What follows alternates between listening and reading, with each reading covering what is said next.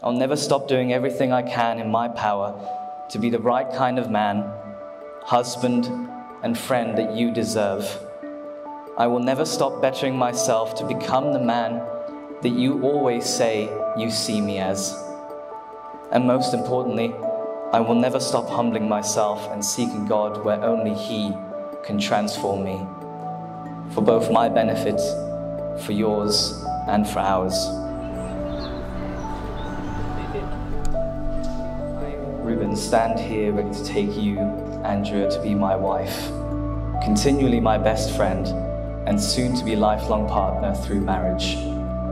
I almost can't believe that the time has finally come that I'll be able to actually call you my wife.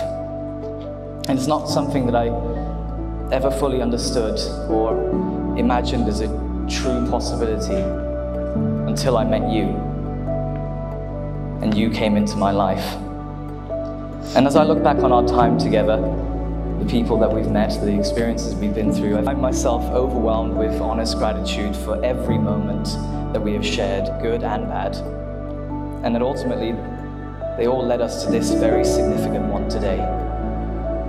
From great adventures across the seas, quiet moments of intimate conversations, to every spontaneous meal we've ever shared, my life is constantly made richer because of your presence in it.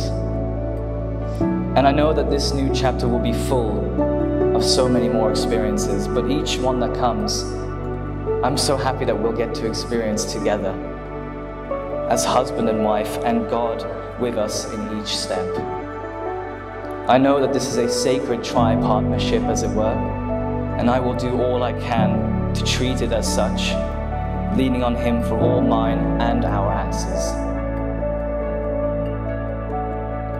Benny, today I stand in front of you, truly amazed at what God can do in our lives. Who knew that I would be making these vows to the person who didn't even want to sit next to me at youth? Yep, yep. And even though I have imagined this very moment countless of times, God truly exceeded my expectations on how He would truly move on our behalf. We have prayed that this wedding would be a testimony to His name, and He has been so faithful Yeah. and so gracious and so generous Amen. Yeah. to us. Hang on. And truly, from the bottom of my heart, there's no one else I'd rather spend the rest of my days with other than you. But most importantly, by God's grace alone, I make this vow to love you as Christ loved us. To love you with faithfulness, generosity, gentleness, and humility to your leadership. Benny, I cannot promise that there will never be storms in our lives because the Bible says that trials and tribulations will come. Yeah. But I promise you that no matter what comes our way, I will hold your hand and stand by you on my knees in prayer, declaring God's promises to her. Amen. Amen. I will walk with you in the valleys, and I will celebrate our victories together with praise on the mountaintops. I will be by your side whether you're struggling with sickness or in perfect health, whether we have extra on our bank account or we don't have money for Sakura. Promising you that in all of those times, I will stand with you in faith that God is our healer and our provider. I love you now more than I have loved you seven years ago. And I am extremely proud of the man of God that you have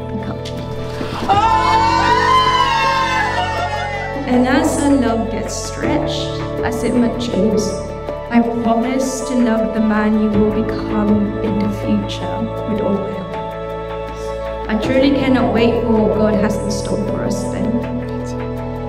So until I draw my last breath, I promise to stay with you in this very covenant, surrendering to the call God has for lives. I promise to choose you, to choose us over and over again. Serelek, mahal kita, and I love you. Too. I just bless you guys. Love you. Appreciate everything that you do for this community here, this family in CitiFaith. And we just continue to watch you grow as God remains the centre. I've known them individually and I've known them together as a couple, and I can honestly say that they're an incredible couple. When uh, Andy first said yes, I knew that when she said yes at that moment that I'd be stood here today. I didn't know I'd be giving a speech, I'm not going to lie to you. I didn't think he would get me up here, but I did know that this day would happen. I also didn't expect it to be six, seven years later, but it happened. It happened. We're here. That's all that matters. A little bit of advice from me to you guys. Never go to bed angry. Love always. And don't let the little things get in the way. All right? Enjoy life together. Everybody raise your glass. I wish you guys a lifetime of happiness.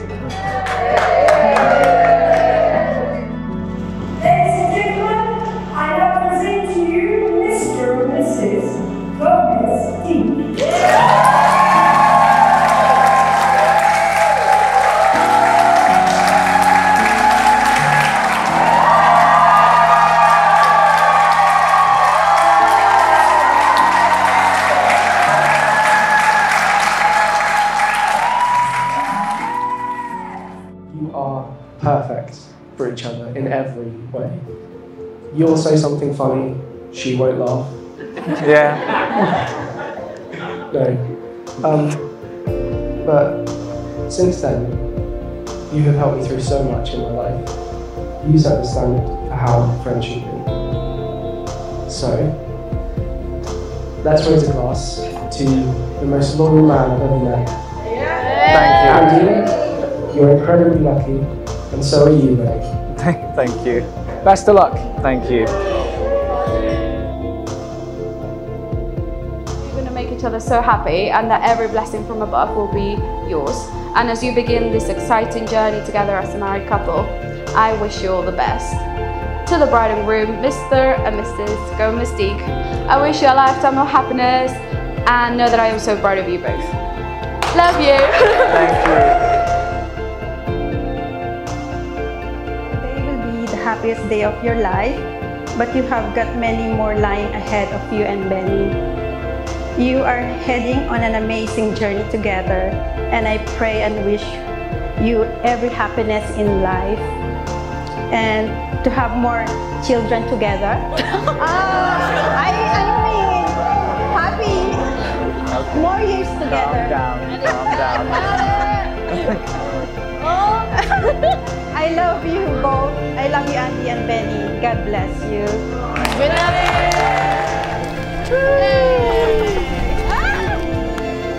Finally, to round it off, I want to say a thank you to my wife, which is the best sentence so far today, I'm just saying. For always being here for me, making me happier than I ever thought possible, and for actually marrying me, which I didn't think a possibility at, at one point before, and yet here we are. Uh, the person I am today is owed in massive part due to your seemingly never ending patience, passionately corrective nature, and overall craving for spontaneity. Those that knew you personally may have once said that an anime loving tomboy like you would never find someone, and I think we know who that is. I'm not going to point them out, they know who they are. But somehow God created me, I believe, to be the perfect contradiction to that statement. So it all works out. It's all right. Let's hope. Let's hope out there. I can honestly say that I always saw that beautiful, strong, courageous, fiery, and passionate woman inside of you, and I'm so grateful that she actually let me pass all of her guarding walls all those years ago. You know you're my best friend, and you're also my greatest love on this earth. I love you. Mahal na mahal kita, Seretlek.